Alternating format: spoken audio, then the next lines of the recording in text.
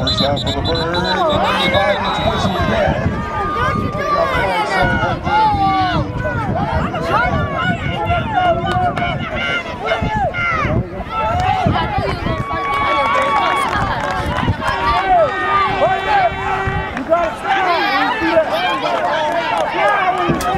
Come on.